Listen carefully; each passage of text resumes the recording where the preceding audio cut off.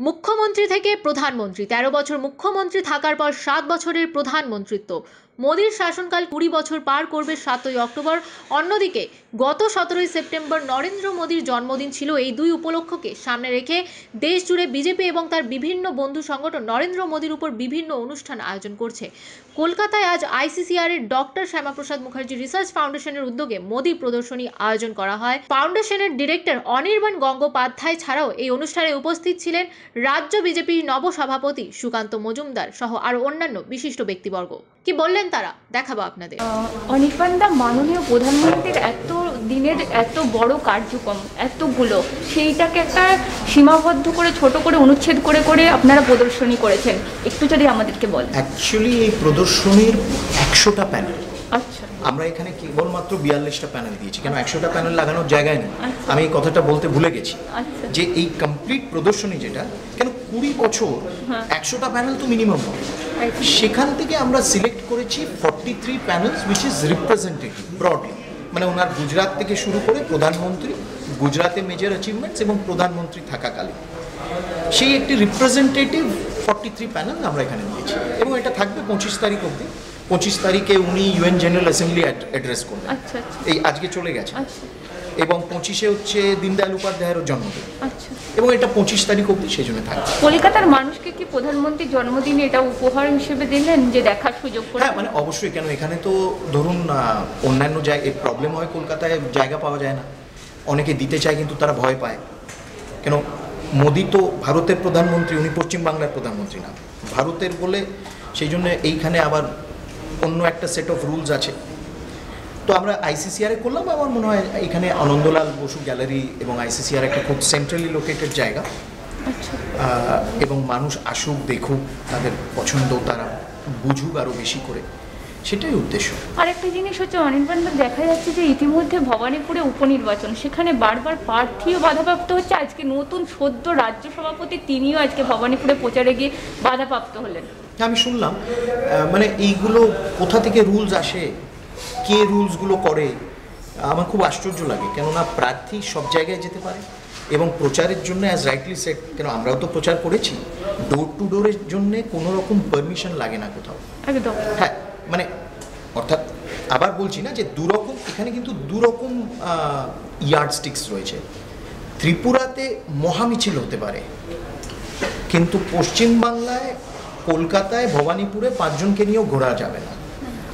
সেই জন্য একটু বুঝতে হবে, কালকে নাকি arbitrary use of executive power তৃণমূলের তরফ থেকে বলা হয়েছে। হাইকোর্টে যখন ত্রিপুরা সরকারও গেছিল এবং হাইকোর্ট নস্বাত করে দিয়েছে যে ত্রিপুরাতে কোনো ধরনের এরকম মহামিছিল হবে না।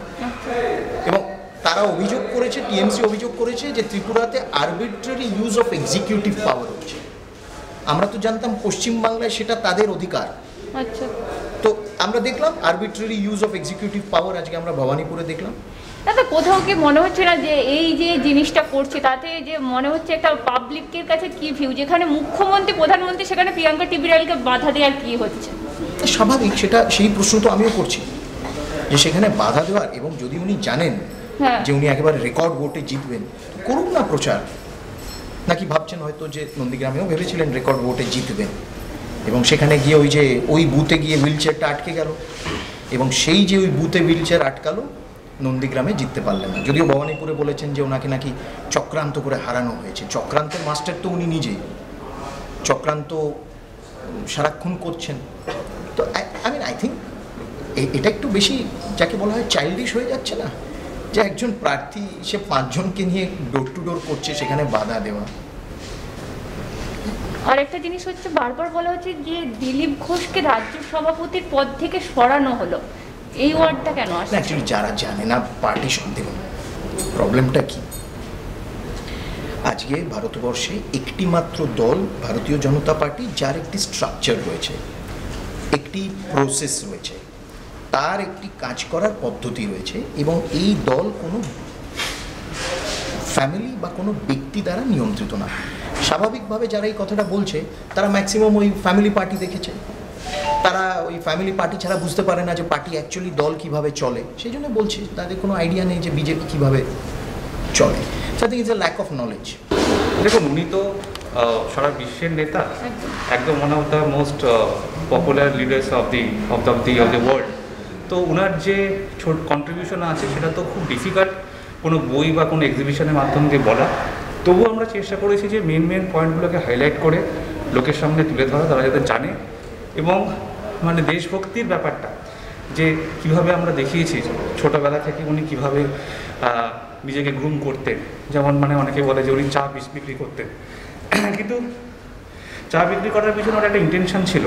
আমরা দেখিয়েছি উনি সোলজার্সের কাছে যেতেন ওদেরকে চা দিতেন উনি গল্প শুনতেন যে কীভাবে তোমরা যুদ্ধ করো কী স্ট্র্যাটেজি হয়? এবং বিভিন্ন লোকের কাছে উনি পৌঁছাতেন। ওনার প্রত্যেকটা জিনিসের পিছনে একটা দেশভক্তি অজানাকে জানা এই যে ওনার একটা ডেডিকেশন ছিল সেটার জন্য উনি যে এত বড় একটা মহৎ কাজ করতে পেরেছেন সেটা আমরা অল্প অল্প করে তুলে ধরেছি। এটা কি জন্মদিনের শুভেচ্ছা হিসেবে?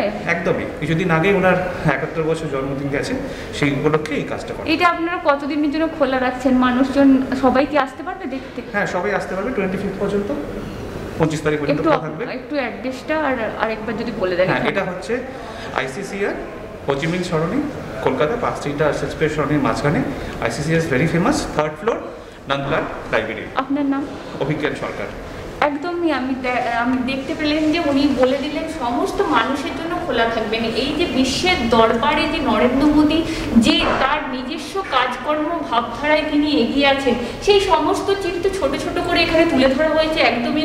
উনি বলতে বললেন এখানে কলকাতার মানুষের জন্য এটা সেরা খবর। কলকাতার মানুষ যদি মনে করে একবার এসে ঘুরে যেতে পারেন, একদমই। ক্যামেরায় সঞ্জীব বসুর সাথে রোজিনা রহমানের report twenty four hours TV.